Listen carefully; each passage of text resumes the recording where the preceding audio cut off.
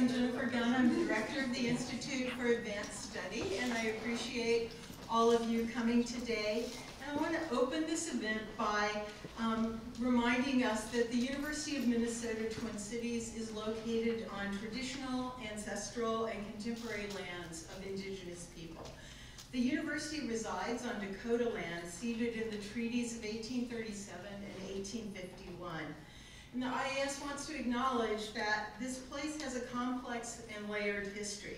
This land acknowledgement is one of the ways in which we work to educate the campus and community about this land and our relationships with it and each other.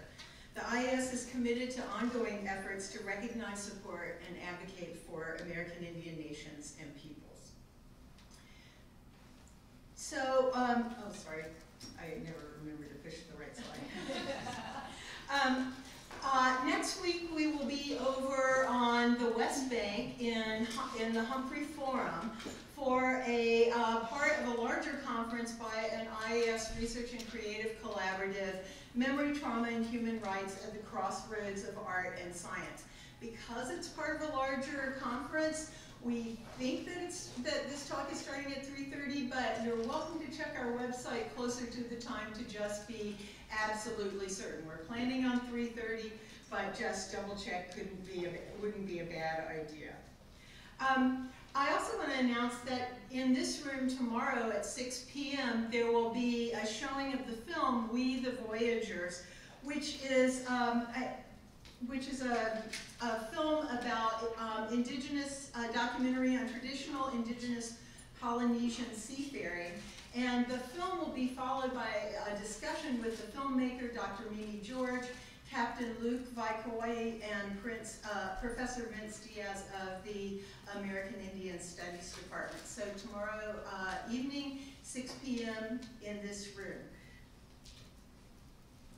And um, I, I want to acknowledge and thank the uh, co-sponsors of today's events, the Penumbra Theater Company, the Departments of English and Asian American Studies. And uh, we're going to have um, two short presentations by Professor Josephine Lee and Sarah Bellamy, um, and I'll introduce them in just a second, and then um, a conversation between them and uh, open the floor uh, to discussion. So I'm going to introduce both of them together, and uh, I believe um, Professor Lee is speaking first, and then um, Ms. Bellamy. So Josephine Lee is a professor of English and Asian American Studies here at the University of Minnesota.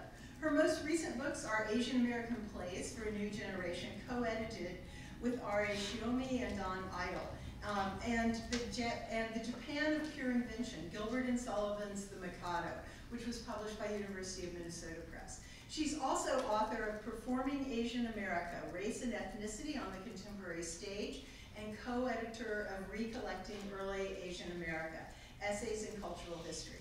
Her other work includes essays and reviews on modern drama, theater history, performance, cultural theory, and Asian American studies. Her research currently is being supported by a grant from the National Endowment for the Humanities, Exploring the Human Endeavor. Sarah Bellamy, some of you uh, may know, is Artistic Director for Penumbra Theater Company in St. Paul. She's designed several programs that engage patrons in critical thinking, dialogue, and action around issues of race and social justice. A graduate of Sarah Lawrence College, Ms. Bellamy also holds an MA in the humanities from the University of Chicago. In 2015, she was a recipient of a Bush Fellowship, and she has taught at Macalester College, the University of Minnesota, and United Theological Seminary of the Twin Cities. She's lectured across the country on the power of race and representation and the ways in which images, narratives, and media influence um, and, and media influence perception and ultimately shape lives. So we're very excited to have them both, and I just want to go on record that uh, we actually planned this program before Justin Trudeau. Uh, so uh, with, without further ado, Professor Lee. Thank you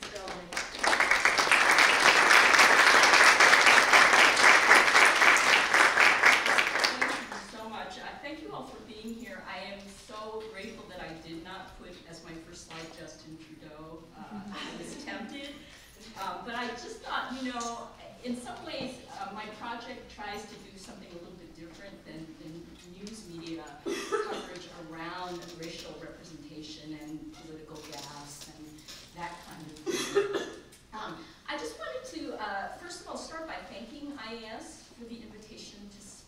Um, thanking my, uh, uh, the National Endowment for the Humanities, which has been supporting me on fellowship this year, um, the College of Liberal Arts, um, also my departments, uh, English and Asian American Studies, and I want to especially thank uh, my co-presenter, Sarah Bellamy. Um, I am so delighted to be presenting with her, in part because those of us who are um, uh, academics and maybe theater studies scholars, um, we sometimes forget that we make our living on the backs of theater artists.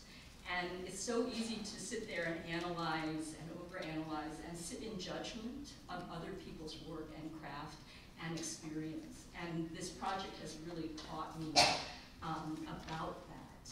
Um, it's going to include some very offensive language um, and images, so I'm just warning people in case um, that is an issue. I am not at all offended if you need to leave.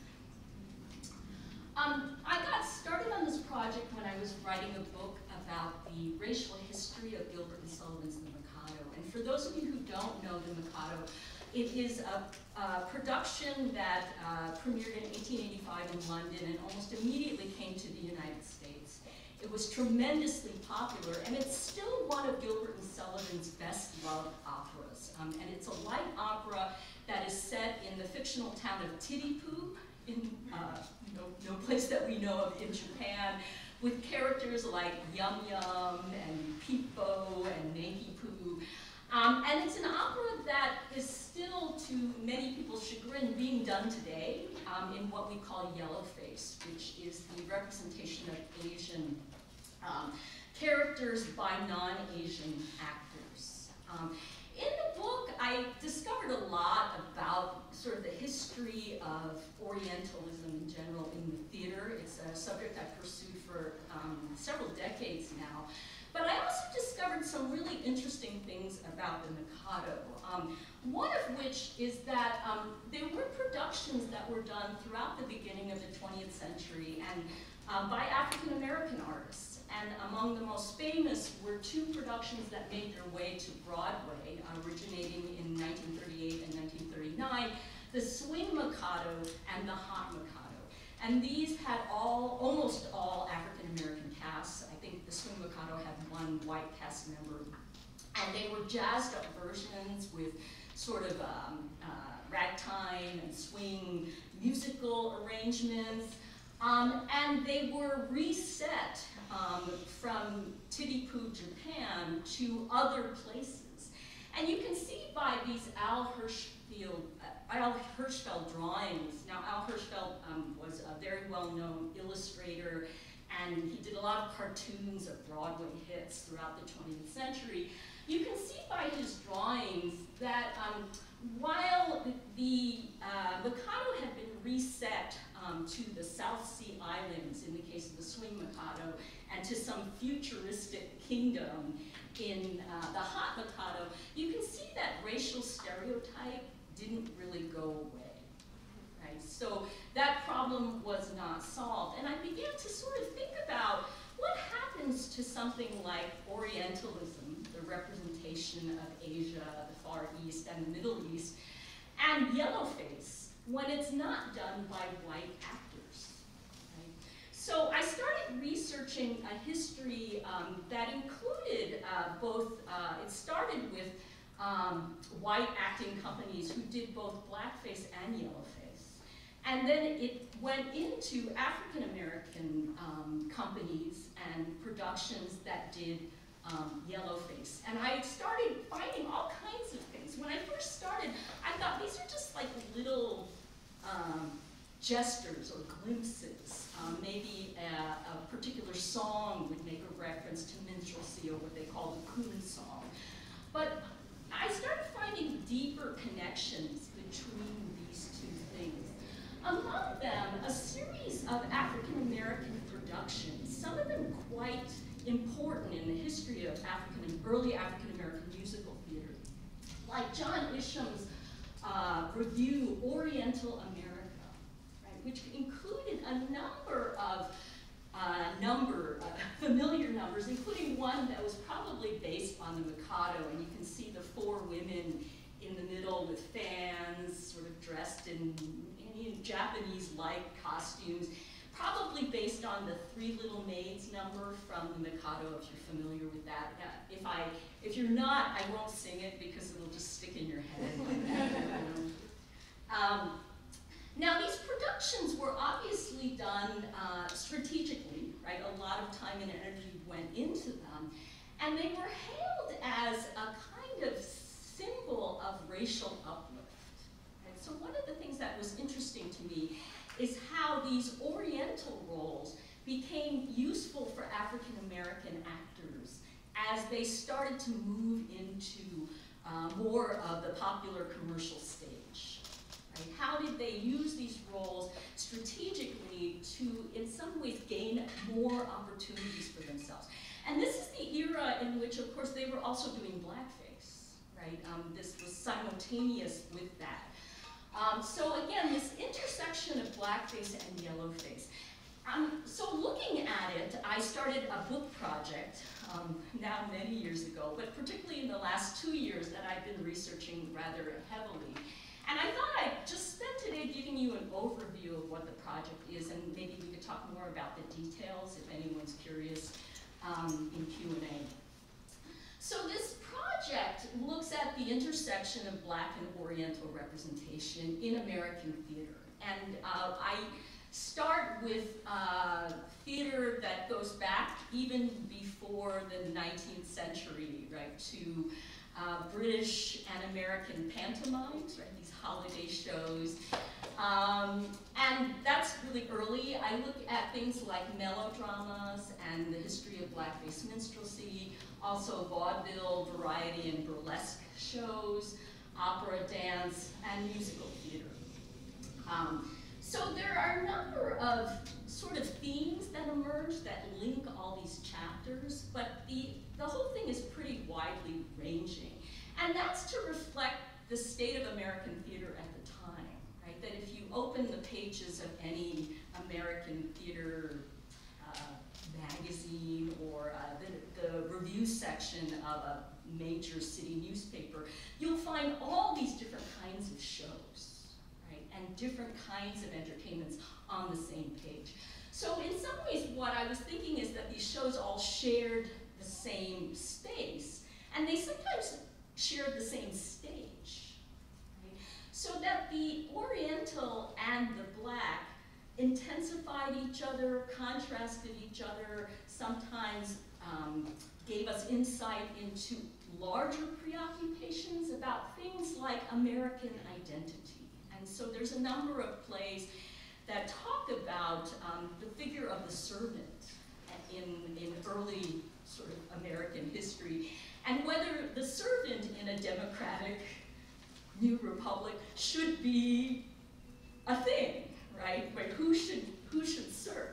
And as you probably all well know, that question is resolved by racial hierarchy, right? That some racial groups were seen as racially fitted to subservience, whereas others were, of course, not. I also look at um, theatrical versions, variations on a theme, and there's a lot of repetition in these, in these um, artifacts, theater. You see the same kinds of images again and again and again. Um, you see images of the Chinese immigrant, right? This comic figure with a pigtail, and he's speaking gibberish and running around. You see that a lot. You see uh, the Oriental dancing girl, right? The figure of the sort of voluptuous, or sometimes not voluptuous, um, but beautifully costumed and sexually desirable woman, right? Um, and you see some really interesting things about um, fantasy, right? So one of the most interesting sections to me um, were, was looking at early African American musicals and looking at how they created spaces, fantasy spaces, that looked a lot like Oriental spaces, although they were set in places like Abyssinia, right? Uh, but they looked a lot like the Oriental entertainments of period. So I'm just going to show you a few images. Um, Pinky and Walker, uh, the Chinese duo. Uh, here's a dancing girl. Um, I have a whole uh, section or a whole chapter on Aladdin, much to the chagrin of my family, who I forced to watch the Disney Aladdin yet again. Um, and so I found some really interesting things about Aladdin. Among them, um, the fact that Aladdin, um, original versions, the pantomime versions are set in China. Probably a number of you don't know that, right? But in Britain, the holiday pantomime is still associated with Chinese, right? Um, but the magician, Jafar, if you've seen Disney, is African. Right? So we already have in this pantomime story this intersection of black and oriental. You can see that from Walter Crane's turn of the century illustration, uh, what the different configurations are. There was also a really interesting sidekick character that I spent probably way too much time on, uh, named Kazrac, who was very interesting to me because he was, he was, you know, this Chinese slave character, or it's, it's impossible to tell whether he's supposed to be Chinese or African, but since he's dressed as Chinese, I'm thinking he was Chinese. He was played by all sorts of famous comedians, including um, the, you know, probably the father of the modern comic role, Joseph Grimaldi, in some of the original Aladdins. Um, he was there because Aladdin was often what they call a breeches role, played by a woman right? So you would have had a female lead in the Aladdin character, and Kazrac did a lot of the action scenes, right? So he steals the lamp, you know, from the magician. He, in the end of some of these versions, he's the one who stabs the magician to death, you know, while Aladdin catches the swooning princess. So he's very, very active, and what I was really interested in is how this figure was sort of taken up through these comedies, um, all the way to Disney, right? Disney's sidekicks, where do we get Abu from? Where do we get Iago from? That kind of thing. Um, another uh, idea, or another idea that keeps running through uh, both the kind of white minstrel performances and vaudeville performances and African American ones is the Chinese laundry sketch. Right? So here's where the intersection starts to comment on uh, Chinese immigrants in the United States, and particularly their labor competition um, with both white working class uh, businesses and also African American ones. And so I'm just going to show you um, a little Edison film of the sketch. This is done by two vaudeville actors in Yellowface. Um, they're not African American, but the African American versions um, also looked a lot like these.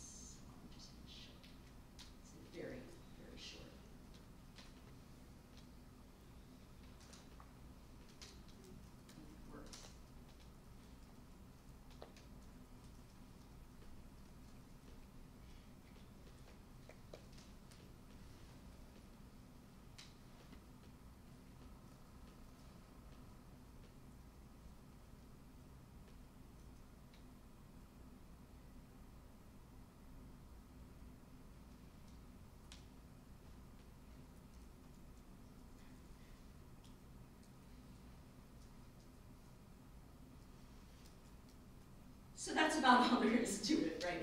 Uh, short bit of entertainment um, in which a Chinese laundry owner um, has a dispute with a customer, usually over a ticket which is written in Chinese and therefore unintelligible.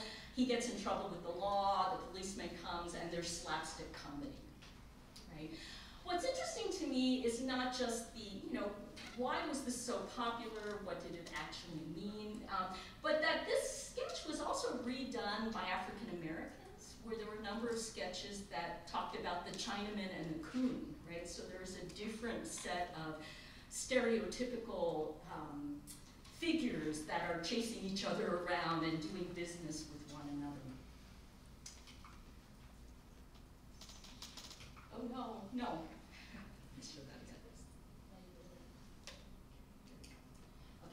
So uh, African American versions of the sketch went all the way up into the 40s. Uh, there's a movie, I haven't been able to get a hold of this movie, but there's an account of it in some of the uh, film descriptions um, by the um, the comedian who had a very long sort of vaudeville history as well as was quite well known in African American films, Pigmeat Markham. Uh, and he had a film called House Rent Party, right, in which there is a Chinese laundry scene and you can see uh, how it's played. Um, the actor playing uh, the Chinese character is not African American, but it's interesting because other than that, the account seems pretty much the same as these older sketches. Um, so what does this all mean? So just getting to some reflections. Um, I was particularly interested in how African Americans, um, in adopting some of these um, uh, characterizations, were trying to uh, exercise what they saw to be the privilege of the actor. Right? So if you think about it, one of the things I, I always think about stereotypes is that they come complete with a set of, of the privilege to represent someone else. Right? And it's a privilege that historically had been accorded just to white male actors, right, who could take on all these other roles. And if you go to makeup books from the 20th century, this is reiterated again and again and again. Right? So here's a, uh, 1949, a makeup book in which the author shows himself as a Chinese man. His wife is there as a mammy. I, I just thought this was really interesting juxtaposition. And it's about the craft of their makeup and how, how they can transform into these other people. So what does it mean when African American actors try to have that same privilege of racial transformation? They did, of course, do white face right? So there are instances in which whiteface is used, but they were almost always rather controversial. Um, whereas by taking on Chinese or other Oriental roles, African Americans could regularly expand beyond black stereotypes, right? So these kinds of um, impersonations, racial impersonations, were done by all these actors that I didn't realize had ever engaged in anything like this, right? Actors who are quite well known, um, if you do any research on the history of African Americans vaudeville or early minstrelsy, you'll have heard of the famous comedian Billy Kersands. Right? Um, Sissieretta Jones, known as the Black Patti, had her own company, was one of the most successful African American performers of her time. Um, she, uh, in some of her final shows, uh, played not a Chinese character, but a Filipina which I thought was very interesting.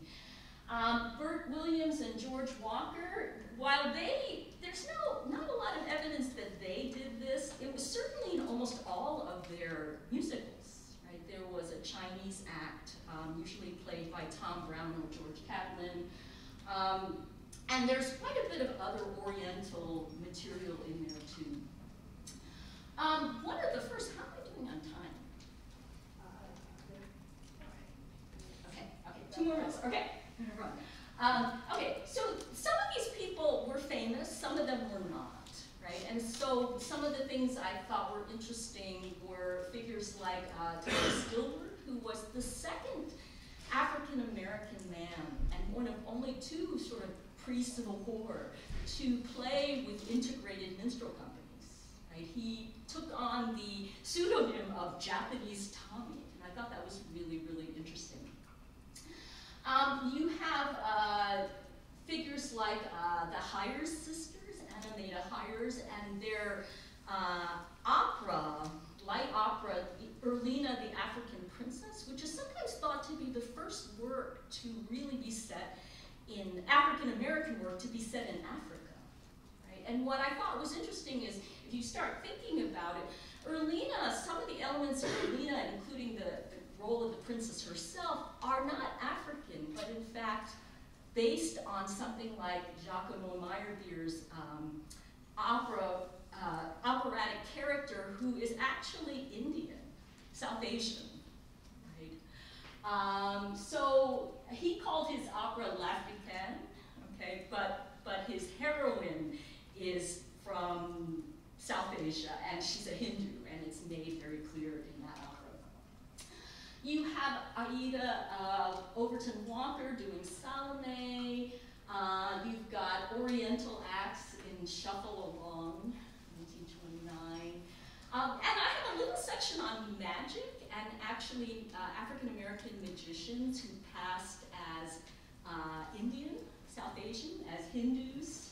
Uh, um, so I'm just going to stop with uh, two thoughts. So I think you can look at a lot of this material and sort of say, as I did when I was starting out, huh?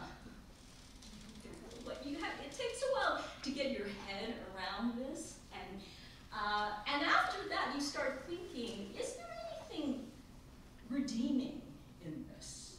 Right? Is it simply another case of uh, someone taking on an act because they thought it was funny and because they capitalize, could capitalize on it, or is there something um, that could develop that is more positive, right? And I have tried to find traces where I see a sense of affinity developing. I don't want to call it solidarity, because I think it definitely wasn't that, right? That there's still this sense to, to that these performers, the Oriental was an alien, right, an exotic. But there is the sense of shared experience that I think is expressed in some of these small hints. And I'm just going to end with one of them, or two of them, that have to do with this man, um, Harry Fiddler, uh, who played a lot of Chinese roles. He was very good at it, and he was known for. Um, and he played particularly in an act with uh, a man, a very good pianist, uh, whose name was Reuben Shelton. And they had a class act they took on the vaudeville circuit. Um, and one of these was reviewed in the Freeman, and um, there was a cartoon about it, which I thought was really interesting. And it's a little hard to read, um, so I'll just uh, read it for you. Um, Fiddler and Shelton, those two clever boys. Um, and in the first frame above, the pianist, who is Shelton, is saying, you sing, John? And um, Fiddler, who is wearing the Chinaman's costume, says, you think all Chinamen named John, right? And then the bottom frame reverses it, right? Uh, Fiddler is playing the piano and says, you sing, Johnson? And he and, and Shelton then says, you think all colored men named Johnson? So there's this parallel, right, that suddenly sort of uh, points to a kind of shared knowledge of the racism that was leveled both at Chinese immigrants and at African Americans. And that's taken up in, you know, in a kind of bigger way in the 1930s. I'm just going to skip ahead. Uh, people who are urging African American comedians to think over what racial slurs they use because they, you know, you don't want to be called this one thing and you shouldn't call other people the same thing. but it's hinted at even more subtly earlier on with a comment that I found, and I'll just end here, um, by Harry Fiddler, uh, made in the um, Indianapolis Freeman, which is an uh, African-American newspaper, that he's not doing his Chinese turn this season because he's afraid some Irishman will take him for a jink. Right? And that comment to me just stood out because it sort of suggested that there's this awareness that in the midst of this era, which as you know, um, was not an era of great opportunity for African Americans, um, performers were um, forced, you know, they, they did not make anywhere near equal pay. They could not stay in the same hotels or travel in the same modes as their white counterparts. Um, some were actually lynched. Um, others were defrauded. It was a terrible situation. And yet, there is this knowledge that in the midst of that, um, Harry Fiddler is sort of identifying something about the role that he's playing constantly that also requires sympathy. So I'm going to end here. Thank you for your attention, and I look forward to talking with Sarah about this.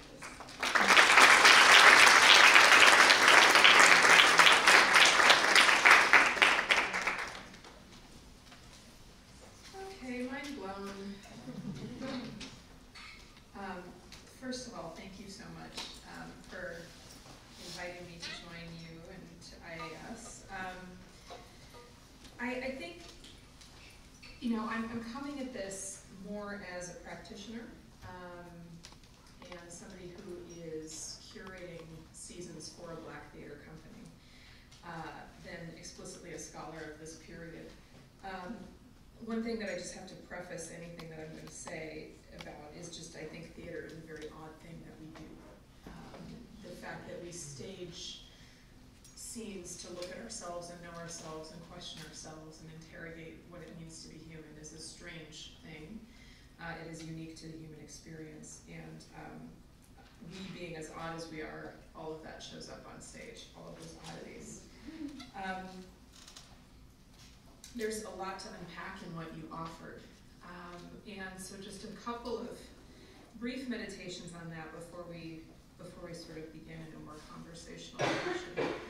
Um, I think one of the things that becomes really important for us to think about and consider is the way in which the black body in the United States and inside that particular racial frame becomes a space of signification for things like nation and citizenry and identity, which you talked about. Um, I think there's something about, there's, for me, there's a really interesting connection about when stereotypes really crop up, that the ideological work that they are doing is particular to a moment, and if we look at the moment and what stereotypes are circulating, we can know more about um, what was in tension or what was in contest at that time. Um, so stereotypes are a way of controlling people's perception about others. Um, and one of the fascinating things about blackface in particular is that most of you may know it's not created by black people. I think that last quote that you ended on is so tricky to unpack because in it there are these levels, first of all, of acknowledgement of who was making probably the most progress, quote unquote, or uh, capital presenting blackface, which largely Irish performers for many years. Um, and then also the job, you know, and this this way of locating oneself above or adjacent to different groups of people. Um, one of the famous folks who who um, really starts to solidify minstrelsy and blackface as a tradition is a man named T.D. Daddy Rice, who is performing um, primarily something that is known as Jim Crow minstrelsy um, in the late 1820s, right? Um, and you may have heard, obviously, the, the turn of phrase that he was famous for um, reportedly co-opting. Um, turnabout, wheel about, turnabout, jump just so. Every time I wheel about, I jump Jim Crow. And the, the story goes that he heard um, a, a, black man singing this um, in the street and then took his image, including his fairly tattered clothing and um, uh, reportedly also his disability, blacked up his face and performed that on stage to an audience that absolutely ate it up. Um, what's interesting about that turn of phrase is that for black people, when we hear that, we understand that it's actually an instruction to help us get around laws that keep us from uh, dancing or keep us from actually fully engaging in society. So dancing by black folks was illegal in certain contexts, but there was a way in which dancing was regarded as a certain kind of pattern of the feet, and if you didn't take both feet off the ground, you could kind of get around it. And so he's co-opting the intelligence of the resistance um, and staging that in a way that pokes fun at it. Um, and so that reversal is really interesting.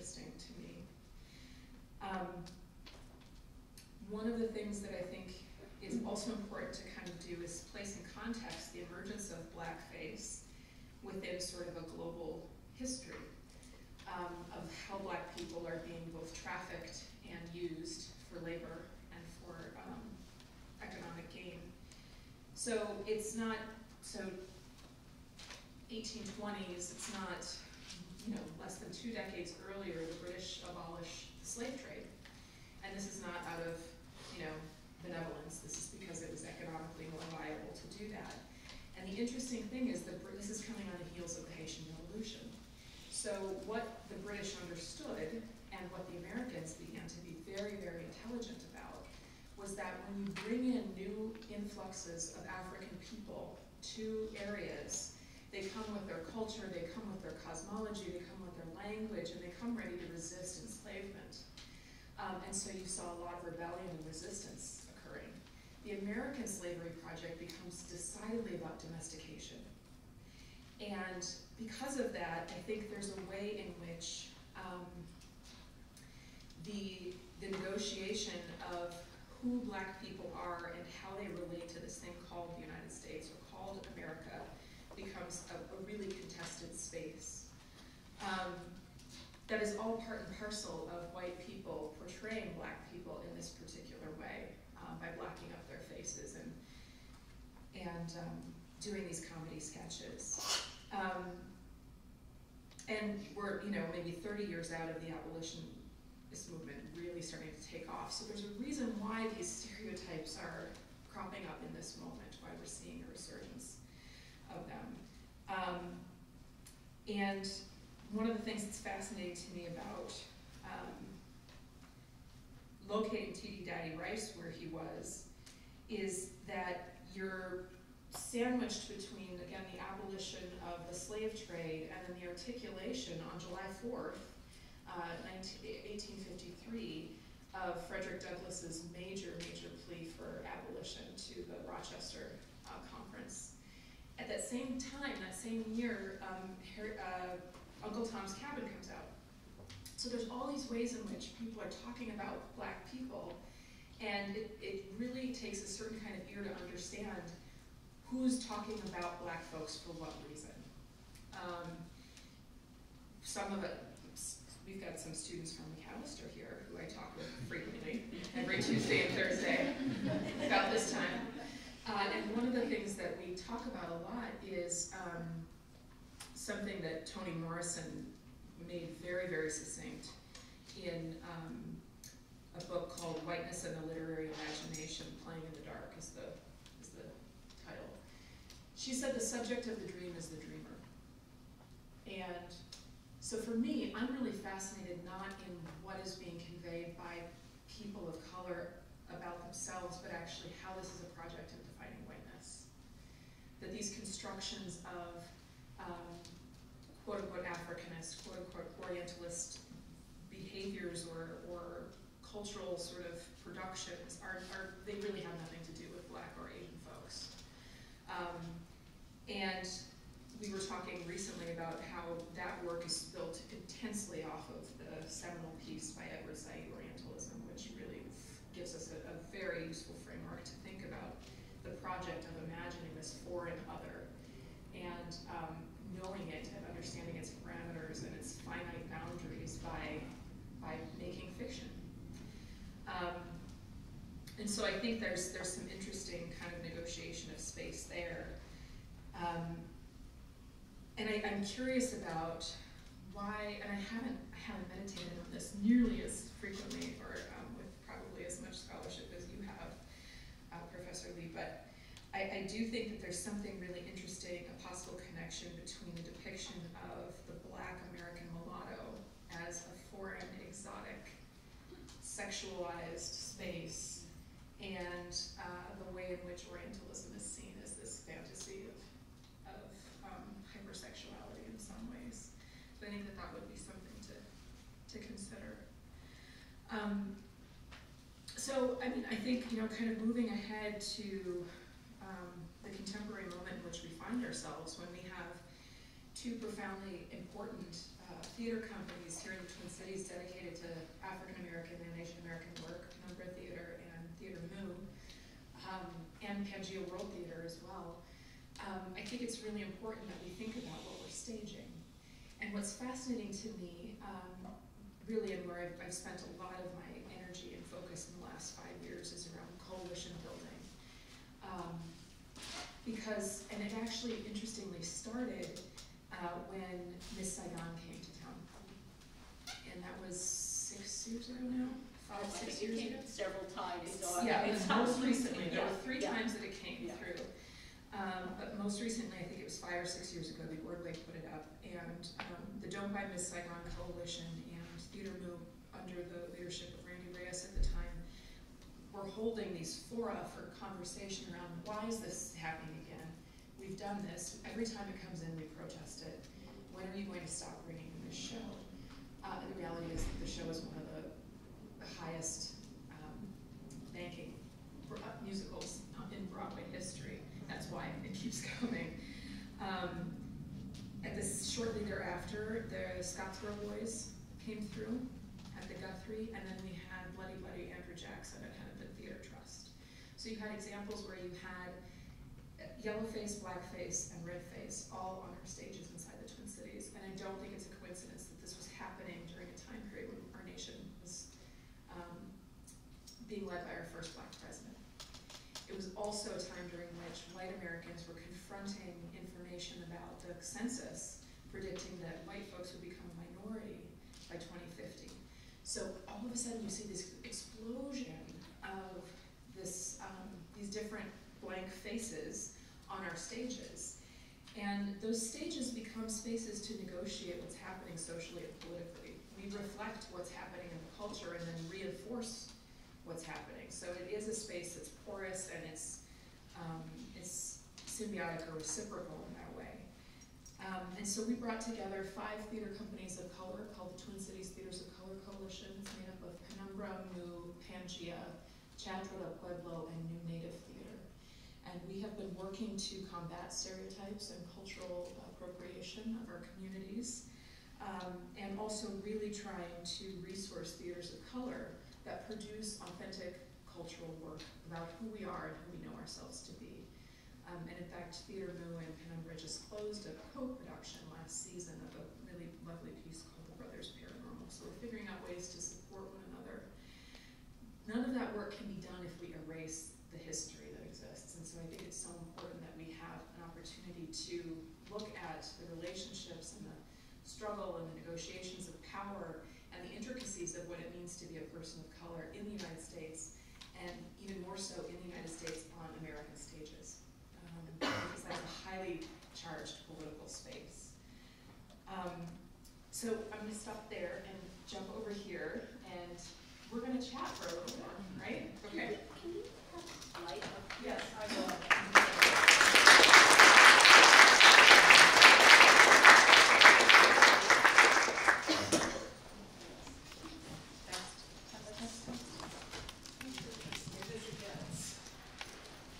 Um, Can you hear me?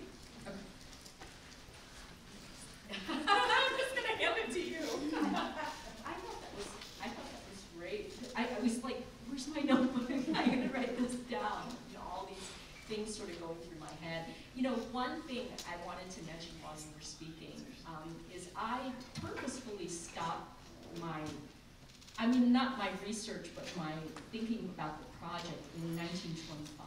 And the reason I did that is that's the year that the uh, Krigwa uh, Negro Theater was formed, uh, 1925. Um, uh, one of the co-sponsors was W.E.B. Du Bois, right? And uh, that's a very formative theater um, in terms of African American theater history um, because it, even though it didn't last very long, it really set out to, I think, um, rethink theater by African Americans.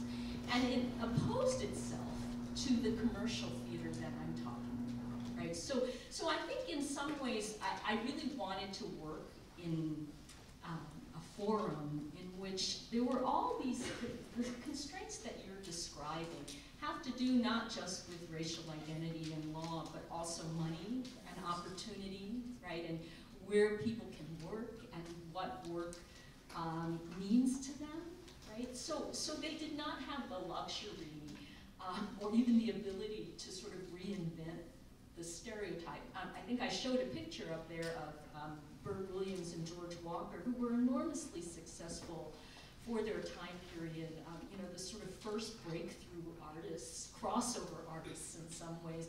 And their first shows were billed as the two real coons, right? Because they wore blackface and they were advertising themselves as being able to do blackface characters better than white actors, right? So you kind of had to, I think, put yourself in the shoes of people who were really trying to showcase their talents and which were enormous, right? Um, and to do that, they used the vehicles that they had in front of them, which, as you said, were produced by white actors, writers, uh, managers, and the like. I, I think that's such an important point because it, for me, it really illustrates, um, you know, the power of what it means to be able to represent yourself in a way that you know yourself to be true, right?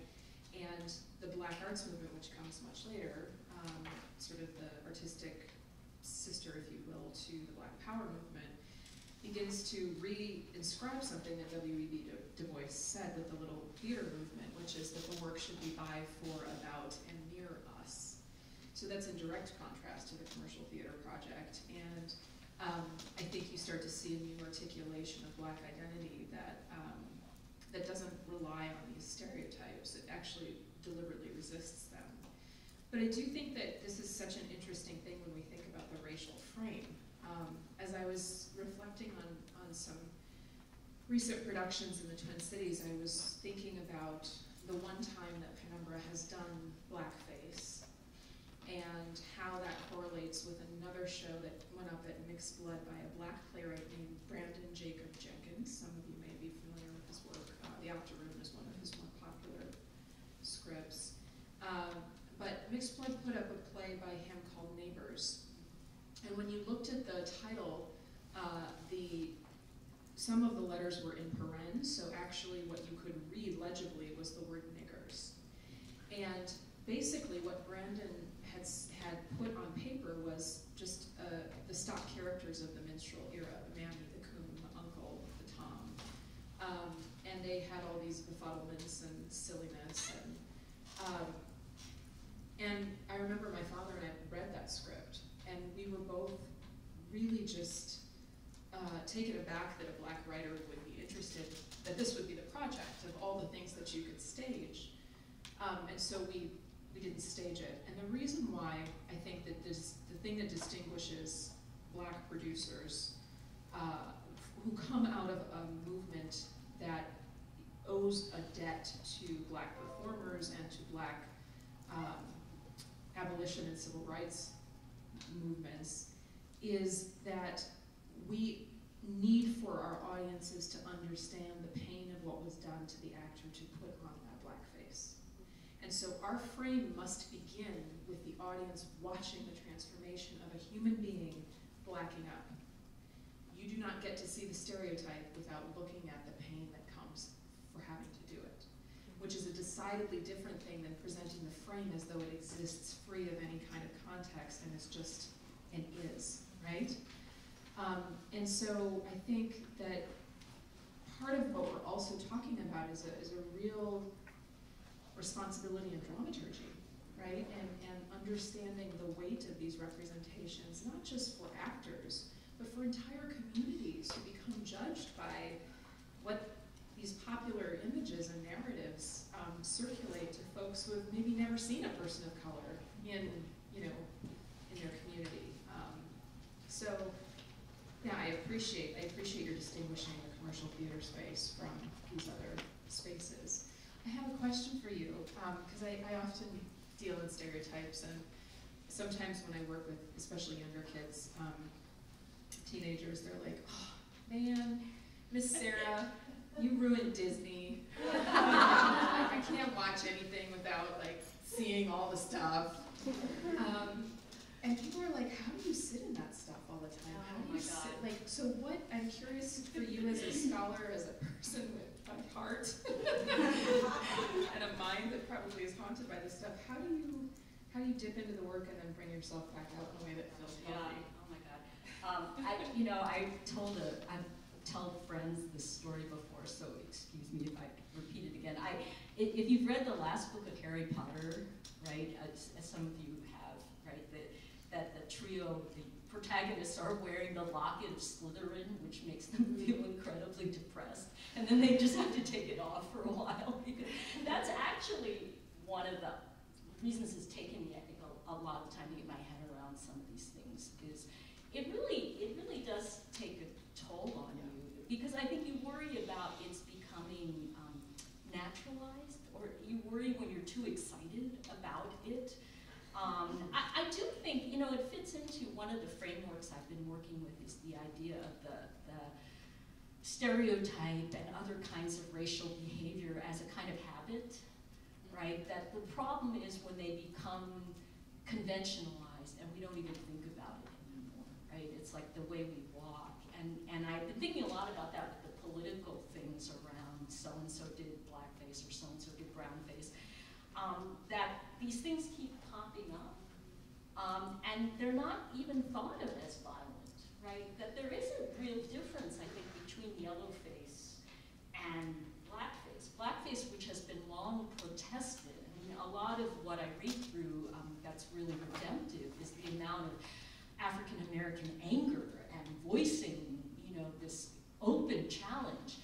And there's not a comparable literature for Asian Americans, right? In part because they were excluded, right? The, you know, the laws did not permit entry. Um, there were many different kinds of communities, some of them in hiding, right? So, so I do feel like there is much more of a history in some ways of empowerment, of radical protest um, that can draw on um, kind of African Americans. And, and that part I think is really good. Um, I also felt comforted um, by how much more I knew or how much more I know now than I 10 years ago about African American theater. Um, I was trained in sort of modern European and American theater, um, but I started reading it on my own. I was never really taught about it in the classroom, so your students are very lucky. You guys are so lucky. Um, and so to sort of teach myself um, by reading source books and newspaper reviews, to dig deep into that, I am really honored to be uh, um, thought of as a scholar in that field because it's sort of sharing this history, which I think is very as much of a part of American history as any other suppressed history, but has not really been recognizable. So so few people know about this. So I, I feel really responsible, um, and I do think this is the way to move past the stereotype. I mean, finally, right? That that it doesn't have to keep reproducing itself, and if I reproduce it, hopefully it's in a different context than just simply, as you said, putting putting the frame out. Yeah. So the floor is open. So, I- Hi.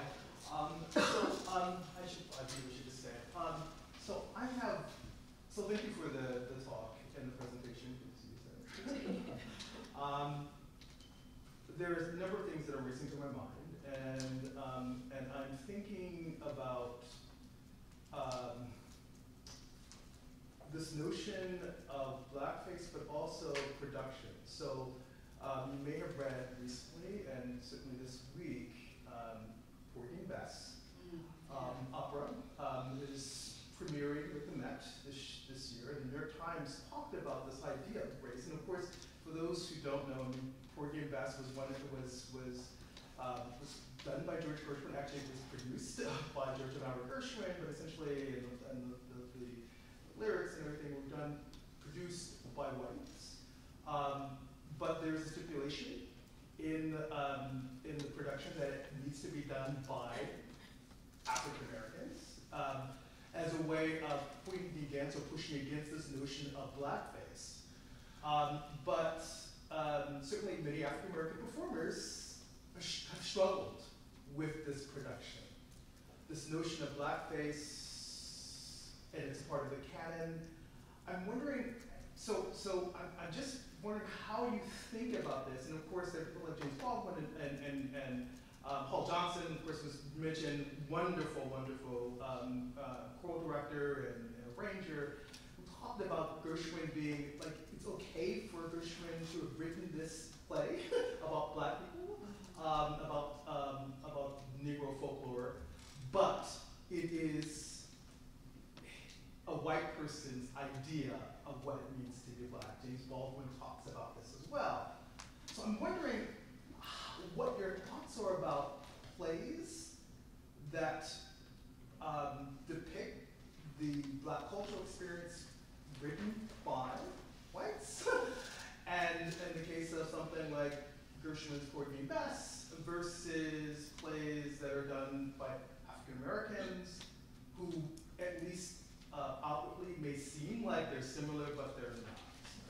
And then the other question is really about this notion of settler colonialism and how that plays in to this notion of embracing um, uh, peoples and how this then plays into this idea of acculturation um, and the erasing of peoples of color and their culture and how theater may in some ways um, that tries to push against that, but at the same time could uh, complicate this notion, you know, from this exogenous, you know, sort of domination, if you will.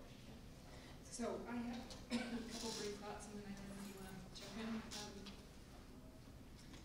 Um, I, make a distinction between black theater and plays with black people in them. Black theater has a social justice imperative in it um, that must deal with the community and the issues we face, uh, that looks at racial inequity and racial disparity. Plays with black people in them don't, do not have to do that. In fact, many times they use black folks to um, do other kinds of ideological work and, and reinforcement of um, white supremacy and all kinds of different notions. Uh, my answer to your question about what to do with these plays written by white people about black people.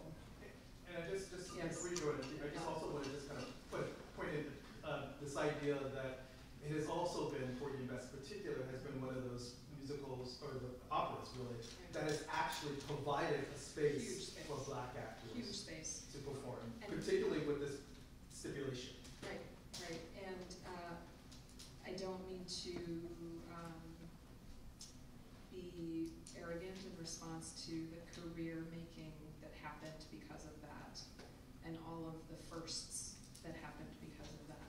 But I'm tired of the firsts not happening on our own terms, so I say don't do them. Honestly, I mean, uh, the fact that we keep, one of the projects that I find so mind-boggling is that we keep staging Shakespeare and only now we're adding people of color. And I'm like, you can't just throw in a little black thing over here and expect that it's not gonna affect the story because race has context, it has meaning, and you're changing, you're changing the cultural moment and not dealing with it. So we want to have these plays, we want to have these, this classical canon. we don't want to get rid of it. And we want to call ourselves inclusive. And uh, I'm, I'm more of the mind that I would rather invest in the work of writers of color who have yet to be produced than producing these tired old pieces that reinforce and reinscribe old, old ideas. I don't think there's any way that you can remake Porgy and Bess to be what it was intended to be, right? It's, there's beautiful music, I'm not saying, you know, all of this work is lovely, but it's not for and about us. And to try to pretend that it is by wedging people into the roles, I think is disingenuous and, um, it's just, it's a project that I think puts a lot, a lot of stress on the people of color that have to embody those roles, that isn't necessary and isn't acknowledged by the producers who are gonna walk away with fists full of money. That's very frank, and I'm realizing I'm being live streamed. So my career, my career in over, but, um, but no, I, I do think that, I, I just, I'm done with them. Let's move on. Uh, I, know, I definitely think uh, the canon, right, the classic needs to totally, I mean, what is wrong with not doing it? I mean, there's something like, why do you need to have it? Is, is I guess what I'm thinking. You know, that being said, I think there's comparable arguments that people make uh, um, on the basis of just practical things that for artists of color, right, um, having those roles can be key to defining your career, right? And there are articles written about Miss Saigon in the same way, gave all these Asian American actors work. I mean, the same thing with um, the musicals of Rodgers and Hammerstein, The King and I, um, uh, South Pacific to some extent, um, and, uh, and Flower Drum Song, uh, one slide that I didn't have a chance to show, though, was interesting. Um, you know, the first, right? Um, among the first, uh, like the first African-American woman uh, to win a Tony on Broadway was Juanita Hall, and she played the role of Bloody Mary, uh, Tonkinese woman in South Pacific. Right? She later played a Chinese woman, Madame Liang, uh, in Flower Drum Song. And uh, she's African-American um, and was hailed as a right? Uh, the roles were rather stereotypical, um, but they were not stereotypically attached to African American, to black representation.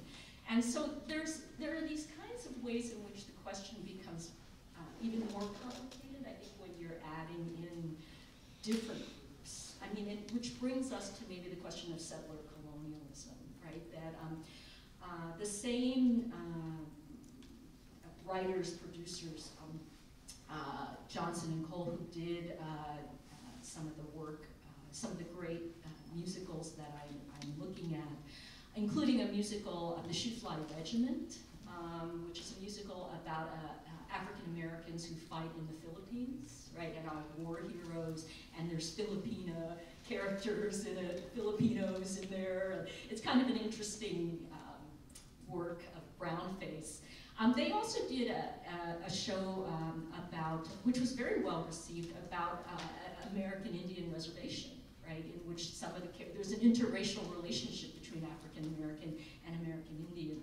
And, and so um, I was reading some through some reviews and, and um, some of the theater critics in African American periodicals are talking about, well, African Americans can easily play, you know, Indians, right? I mean, because they're all black, right? And, and so there, there are these kinds of um, movements and gestures towards some kind of sense of racial um, uh, solidarity, right?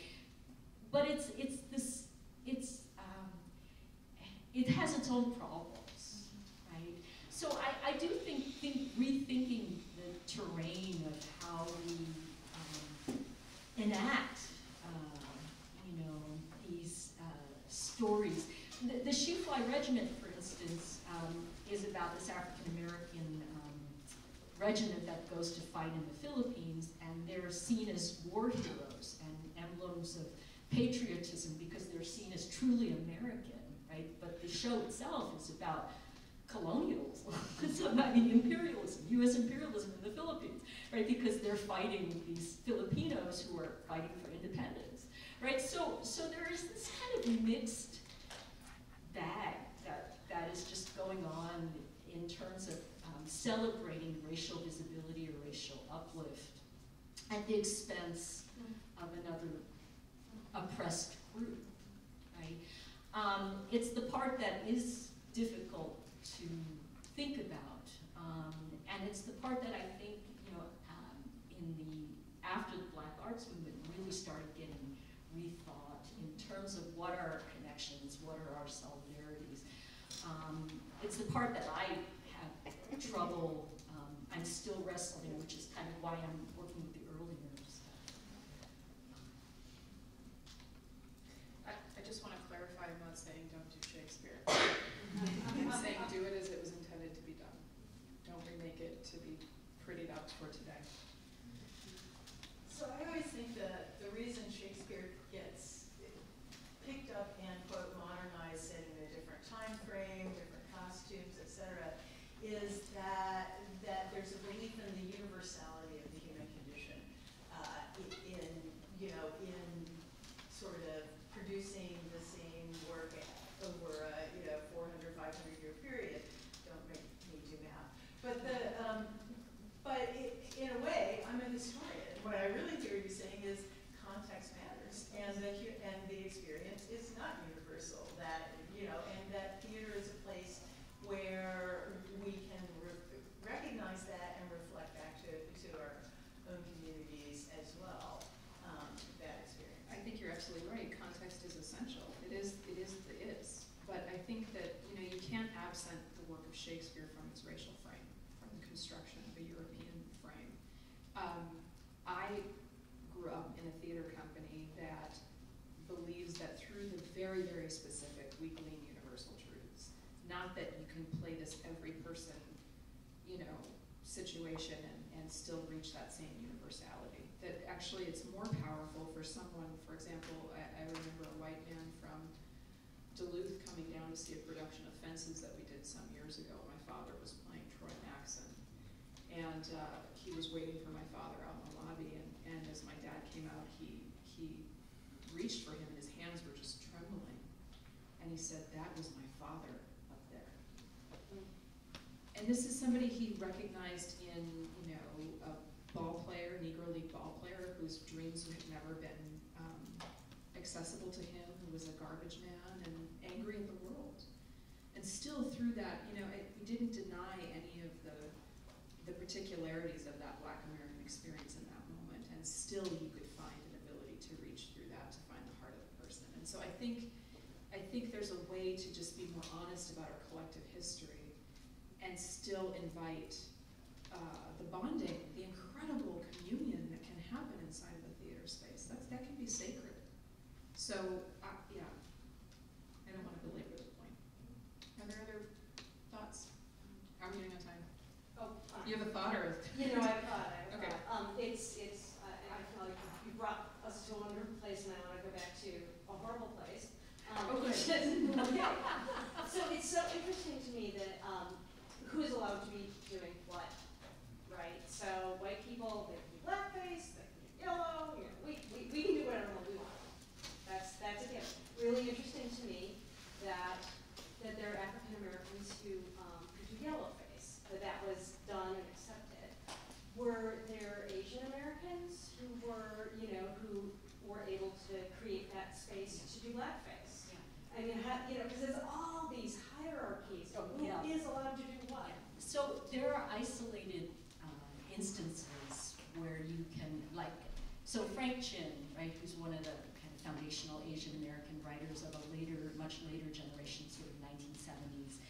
Um, he write, wrote an essay in which he talked about his uncle uh, having gone to this school in California for, for Chinese boys and how he, his uncle was in a blackface production that the school played on. So I went and tracked this down and found the picture of his uncle among all the other boys in blackface. Um, and, um, and Frank Chin was horrified, right, at this. Um, but I think in general, there were not a lot of Asian, performers of Asian descent, right? That were not already, like, so there were visiting troops from Japan or China.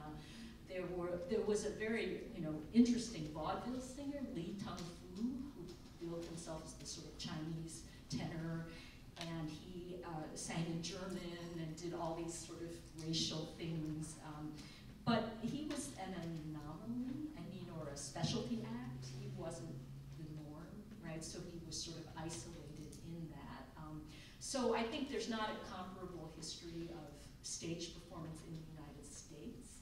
I mean, certainly there's a history of uh, blackface encounter with, I mean, uh, among the, uh, the ships, Commodore Perry, 1853 in Japan, the opening of Japan to the West. Um, one of the things that happened was the sailors performed blackface for the, uh, the Japanese dignitaries, right? And so this is recorded and there are pictures. So blackface came very early to Asia and still has a long tradition there as well. Um, but it, it's not quite the same thing, I think, in terms of back and forth. I, I wonder too about this idea of, um, again, the, the unique project of American slavery to domesticate black people, black African people, descended folks, and the, uh, the treatment of various Asian uh, American, to later be defined Asian American groups as perpetually foreign, and the way in which um, we're re- getting ready to read a chapter out of Sweating Saris that the talks about the Nautch dancers that were brought over to New York to perform. Um, and, you know, there was this fantasy of, this Orientalist fantasy of what it means to, to, to look upon these women, and they came and they were disappointing because they were real. Imagine that. And so, actually, white women began impersonating these, these women, and, you know, um, this became really the founding, one of the founding um, elements to modern American dance. So I think it's, it's really fascinating in the way in which um, certain cultures are allowed to be borrowed from and co-opted, and others, others become almost like a space of signification for portraying or for um, projecting onto. Um, and, and that negotiation, I think, is really complex, and, and I don't know what to make of it exactly, but I, I know that it's there and it's at work. Um, so, My own theory about that is this impression in American culture by which, um, you know, this sort of, the white male body is, is seen as this sort of, has to be disciplined and hardworking and, you know, the Puritan thing. And then it projects onto these racialized others all the sort of desires and decadence. And these others can be black, right? So that you do have this erotic image of the mulatta, right? The, the woman who is racially mixed as the result of rape and violence during slavery. And, and that's a very erotically charged image. And it's no accident that that image, I mean, then gets used when African American women take up the sort of Oriental dancing image, which is a, a- another kind of European image of the uh, lascivious harem, you know, the, the harem in which the man can rule supreme over all these women. So the images are very much, I don't want to say interchangeable, but flexible. And, and I guess my bigger thing is that these images arise, and what's scary about them is they're reproduced in spaces where real people cannot counter them, right? So you've got this, uh, in the case of, say, the Chinese immigrant, right? You've got this figure that was very, very well known. It was on trade cards, it was in cartoons, it was stage, and then you had the exclusion of actual Chinese people, right? So there was no ability to protest what was happening. Same thing with minstrelsy. You had these immigrants sometimes, uh, white immigrants, um, impersonating black people up north, right? So plantation nostalgia, that was a product of the north, not the south, right? So there was no reflection of accuracy, but there was no need for that because it was so much of a, an, an image, right? And it was so reductive that that image could just be suggested by a simple act of makeup and the red lips, right? And that's why you get those fashion shoes and the keychains. I mean, the image is so reproducible and the humans are so complex. Hmm. And so sometimes I, I keep thinking there's got to be a psychological mechanism to go to the reductive when you can't stomach the complexity of the real. That's interesting. Um, I was wondering if you could reflect a little bit more about the uh, the particularities of it being theater that you're talking about, or performance. Um, I was interested in your comment that, um, that you could show the pain of putting on the blackface. So I was wondering, um, that theater seems particular both in that you can't get away from the visual, um, but also there is this distance of interpretation that stands between the author of the text and the, um, the audience members. And I was wondering about, um, does that give you greater room for commentary and interpretation, or is that more of a, a constraint um, compared to other arts, you know, novels or text, or and the other thing that just pops into my head is you're giving me examples of things that get performed every year is the Nutcracker, um, and you know, I don't know if I call it classical ballet, but contemporary ballet where there's that scene of like one stereotype after another stereotype after another stereotype. Yeah, I mean, I'll, I'll speak briefly about this and then, um, see the microphone. Um, you know, I, I I think that theater, of course, is a team sport, and, um, but, but all art does something to the artist's in- intention when an audience consumes it that can't be controlled or anticipated. Uh, and there is a violence in that, I think, that, that is often um, unnegotiated and unacknowledged. That you might have great intention for something and then you put it out received in a way that you're like, what? I didn't mean that. And then the only thing you can do is keep making, right? You have to let that one thing go and then be brave enough to keep making the next thing.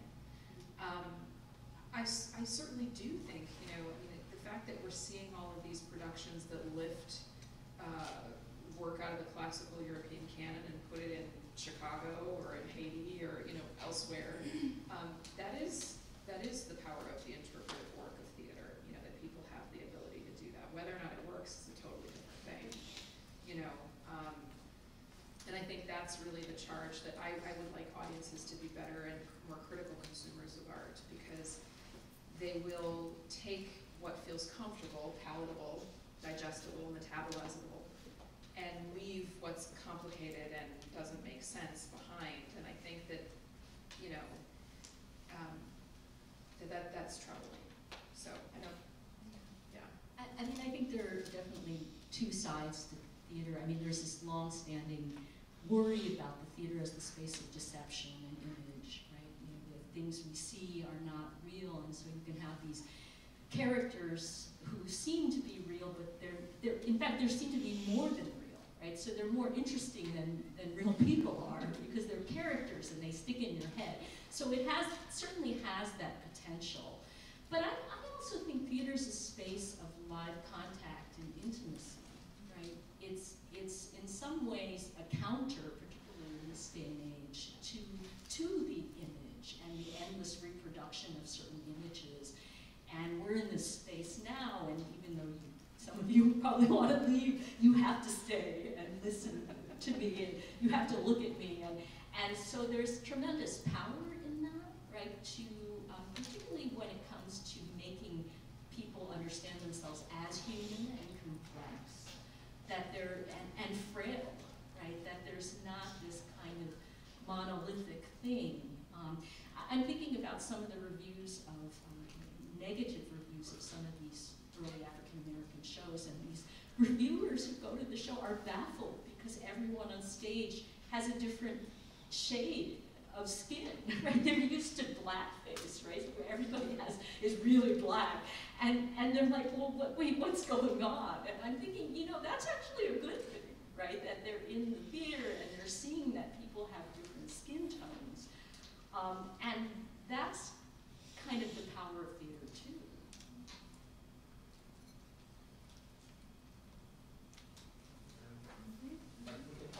So, um, sorry, two things.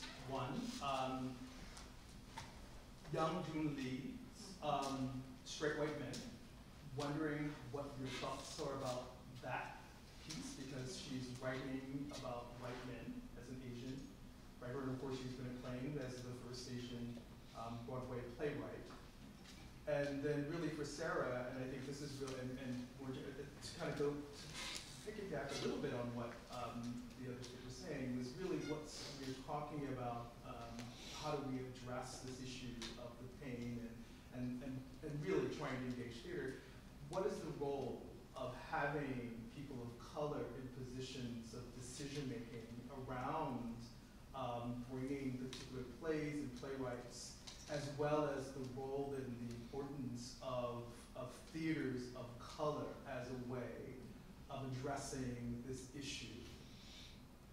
And how do we, so, so what is that role and, and, and how does it play out in today's? Because those images are still there and, um, and frankly, uh, there are differences in opinions in terms of how these things play out. So those are two questions. Um, So I'll pick up on the second, the latter part of your question. I think, um, I think the ability to finance and produce and select and curate work is incredibly powerful. I think we're seeing a really important turn, for example, in commercial Broadway with, um, more female producers. The recent founding of a group called Level Forward that's backed by Abigail Disney. Uh, I think they took home five Tonys um, this last period, and these are all female producers, and they're creating work that is really powerful. In fact, they're bringing uh, Jeremy O. Harris's play, uh, a slave play, to Broadway, which I have no idea what's going to happen. I think Broadway will break, actually. Um, but you know, they put up what, what the Constitution means to me, and you know, they're peppering that with like Oklahoma. You know, they're smart. They're smart producers. They understand that they need to be able to finance the projects that they want to produce by the big ones. But they're coming into um, a period of, of producerial and financial leadership at a time when we're on the heels of, you know, um, acknowledging all of the misbehavior that's been happening inside this field. And in fact, they tried to purchase the Weinstein properties, which I think is really fascinating. Um, for me, you know, the, the importance of theaters of color is, I, there's a part of me that almost doesn't want to have to articulate that all the time because I feel like I'm forever explaining why we need theaters of color. Uh, we need theaters of color because we have people of color. um, and uh, we deserve to be able to have spaces where we can um, depict ourselves uh, truthfully, lovingly, with complexity, um, and not to speak back to the stereotypes or the, the imagined fantasy of who we are, but to actually explore the depth of our own humanity. Um, and I think there's a way in which, you know, Penumbra has for 43 years now continued to welcome everyone, anyone, to that space, but require that you're willing to shift your perspective to understand that you, if you're not of the culture, and sometimes even if you are of the culture, you'll be sitting in a space that where you may have to lean in because the, your ear isn't familiar to the dialect, uh, which is work we've asked I don't countless school children to do when they encounter Romeo and Juliet in sixth grade, and they're like, I do not know what that word means, and somebody says it's English, and they're like, no, it's not. um, you know that that when we encounter a culture on its own terms, um, that, that there's a there's a way in which we're both resuscitating the power and the beauty and the complexity of that culture, but we're also welcoming a deeper examination of our own identity. And that's open to anyone. So I think there's spaces of affirmation, there's spaces of um, political and social change possibility, um, and I think they're vitally important to the arts ecology in our country. Um, and I'm not interested in having a theater that does all of it um, because I don't think unless you have like 17 artistic directors or something sounds like a, I mean, talk about hurting cats. Um, I don't know how, eh, you know, these lenses are, are important and even what we produce at Penumbra can't claim to be the entirety of the African American experience. It is, it is an aesthetic that was developed out of, out of, um, you know, a life by an artistic director who led it for 40 years. Who grew up in St. Paul, Minnesota as a black man. You know, like that's real particular. so, um, so yeah, I think I think the fact that you know I'm tired of us just having one channel. You know, why aren't there seven black theaters? And why would we be anything but excited to welcome more of them? This this sense of scarcity is really problematic, and that's part of the work that the Twin Cities Theaters of Color Coalition is doing, is to really illustrate the abundance inside of our communities and to understand there is more than enough money out there to finance all of these companies. It just keeps getting rooted toward diversifying predominantly white companies instead of resourcing arts organizations of color to their full potential. And that's highly problematic. So, And, and I'll, I think I'll, I'll address the Young Jean Lee, right? I mean, um, for those of you who don't know Young Jean Lee's work, um, uh, she is Korean American. Done a number of, she's had quite a bit of success with a number of works that may be broadly classified as experimental, right? Um, including works that explore different uh, identity, social identity um, uh, categories, right? So there's a play, I think it's called like Untitled Feminist Play. Uh, she did a play called Songs of the Dragons Flying to Heaven, which is a, a sort of parody of Asian American cultural identity plays. Um, uh, the play, I think that um, is, is one of the most creative is The Shipment, right? It's a play that was about different images of African American um, and different stereotypes of African Americans. Um, I, I think it's where people uh, sometimes um, uh, are puzzled, I think, is straight white men is also in that line, right? It's an examination of an identity category, right? That the, these characters um, um, who are straight white men, right? And, and they're all different from each other and they interact in kind of interesting and amusing ways. Um, um, but out of all her plays, it's the one that makes it in some ways farthest into the commercial mainstream. And it's also the play that looks the most like a, a kind of a conventional family play, right? It's about a father and his sons, and it has that dynamic. So it's hard in some ways to see it as that kind of satiric edge that I think has made her other plays really um, resonate, right?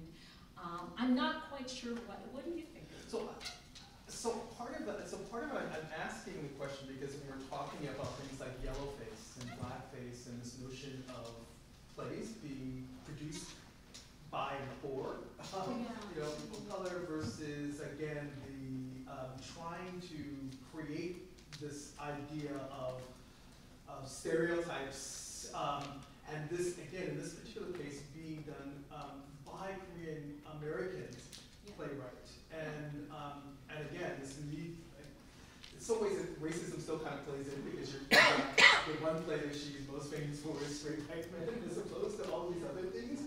Um, but how do we contextualize her place Yeah. in this? Um, Yeah, I mean, I think that, you know, she's not the first to certainly write about um, stereotypes of whiteness, No, no. right? And so I think in some ways contrasting how people sort of think of that as innovative with a play like Day of Absence, right? In which, in the 1960s, a play in which African Americans dressed in whiteface Yes. and basically played white characters, right? And mocked those characters, um, I think in a very creative way. Um, uh, and yet it's not sort of seen in that same light. Um, I, I, yeah, I mean, I think in some ways she's sort of joked herself about writing these identity category plays in which race is foregrounded has, you know, been profitable for her. It has won her recognition. And, and it, she, to, to her credit, I think she's done it very, in a very clever way, right? So I, I think I don't have certainly any problem with her having success, and particularly mainstream success. I think for, you know, for actors and writers of color, that is really a good thing, right? I think in some ways it is a question though of, um, why can't there be more than one slot, right? Why can't there be more than place for this kind of work? Um, and is it that Broadway, you know, sort of doles out its places so um, carefully, right? That this is such a big deal. thank you. I also think that, that, very briefly, that the contemplation of the dominant culture by a person of color is a very different project than the dominant culture depicting oppressive stereotypes of people of color. So I don't hold it in the same regard, Yeah, thanks. Bring this